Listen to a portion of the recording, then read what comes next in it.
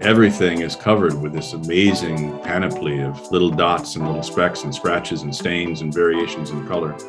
And if you stare at any of these surfaces for any amount of time, even just a minute, you will start to see things in those subtle variations of color, which you can then expand upon.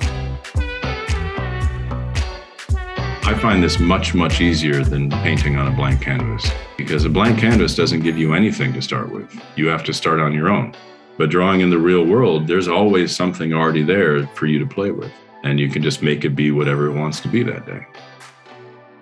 I like to think that maybe part of the appeal of this type of art is that it is made with such simple tools.